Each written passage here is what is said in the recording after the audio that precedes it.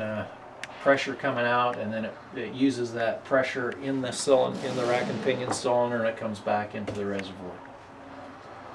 Fluid is something that some manufacturers request be changed every so often. Not all of them, there, but um, it does. It's an oil. It gets old, and, and Yeah. occasionally, uh, especially if something is, if the pump goes bad, there could be metal particles from the pump that get in the fluid. So that's the time that, the, especially then, the fluid would want to be changed. So So the fluid is oil that you're using? it is not engine oil, Engine but it oil. is is an oil. Yes. Okay. Uh, it is a different fluid, and there are a couple, of, at least a couple of different fluids that are used. Most of the time, you could look on the, you take the cap off, and there'd be a dipstick, and it might have a spec for fluid there. Okay. So that would be one place to look, but of course, the owner's manual or, or um, as a technician, we check it all the time. We kind of get used to what brands of cars use what kind of Yeah. fluids. So at least two, three fluids that we would normally use for power steering. So. Um, so you're looking at, you're kind of studying hydraulics.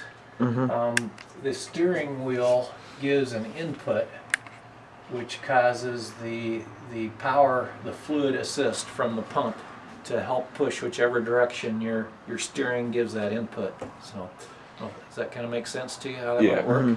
You can't see, you know, there's valving in here that doesn't really show, but that's, that's how that works, so. You doing shop meeting today? Yes. Very good.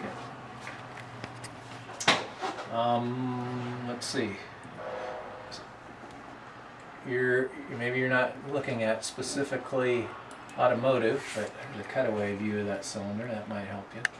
Or is this is this totally about automotive or not necessarily just? No, it's more hydraulics? about yeah, more uh, Okay. hydraulics and pneumatics and stuff like that. Okay. Okay. Well, here's a, here's a, a cutaway view of that, and you have a center seal. So this is where the green means pressure in this diagram. So from this valving in here, when you turn the steering wheel, it allows that pressure to go on either side of that center seal, which pushes the cylinder back and forth, and uh, moves the, the tires because this is connected to the to through the spindle to the tires, which are out here. Uh, you could see that in that previous picture. I guess it even has a way of showing us a turn here, so let's see what it does. Yeah, pressure on one side and, and return on the other makes it turn one way.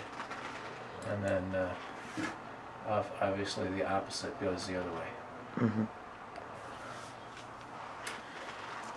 And Unrelated to hydraulics, a lot of the newer cars use electric motors now for, exi- for assist. And uh, the column would not come into a valving like this. It has a it has no fluid in the in the power steering, but it has an electric motor in it senses when you start to turn the wheel, and then it has an electric motor that that gives you the assist and makes it turn easy. Yeah. So. What other questions did you have about this? Um, like Do you have them pulled up? uh, no, but um, like how would you start to build one of these? Like, do you- oh, like how would you start to make one? well,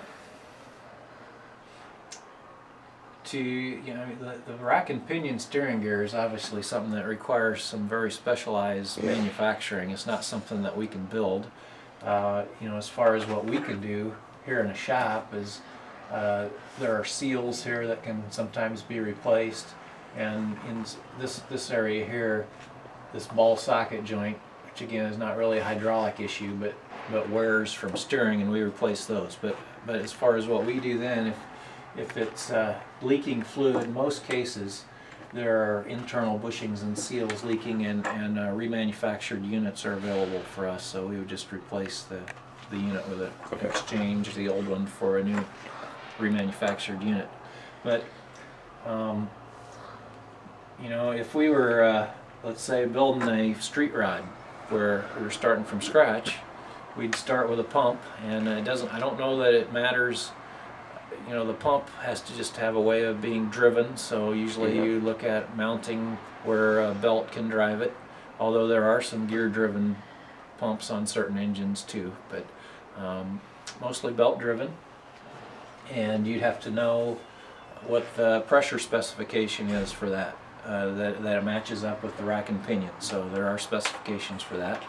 Um, most of the power steering pumps that I've worked with, the, the maximum output pressure is like 2,000 pounds. So uh, it doesn't use that at maximum all the time, but the times it would get there would be when you turn it all the way to the end. If you've ever driven your car and you turn it all the way till the wheel won't turn anymore, and you hear hear that groaning, squealing noise.